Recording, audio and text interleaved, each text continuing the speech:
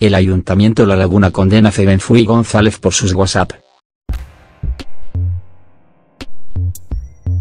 El Pleno del Ayuntamiento de La Laguna, en Tenerife, han dado hoy luz verde por unanimidad a una moción en la que condenan y reprueban las manifestaciones machistas del exconcejal socialista Cebenfui González y, además, le han pedido que entregue su acta y han decidido denunciar sus palabras ante la Fiscalía.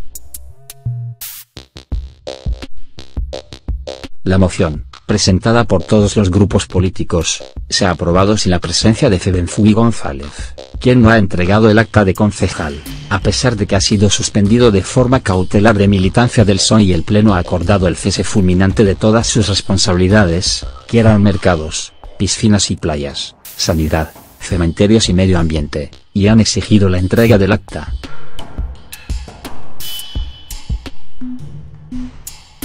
De esta manera, se convalida el acuerdo de la Junta de Portavoces del pasado día 15 de septiembre, en el que los seis grupos que componen la corporación, CC, PSOE, PP, Unidos se puede, por Tenerife Nueva Canarias y Mixto, condenaron también las manifestaciones de González, quien alardeó en un chat de WhatsApp de militantes socialistas que iba a follar con las empleadas a las que decía haber enchufado en el ayuntamiento.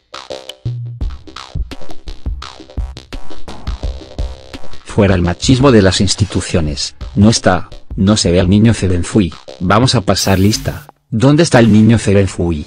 Han proclamado en torno al centenar de ciudadanos que han asistido al pleno, en el que el alcalde, José Alberto Díaz, ha pedido a los asistentes que, conforme al reglamento, retirasen carteles que rezaban dimisión ya, fuera el machismo de las instituciones, Cebenfui a Fiscalía, no es humor privado es machismo público o ni un euro público para mantener machistas y corruptos.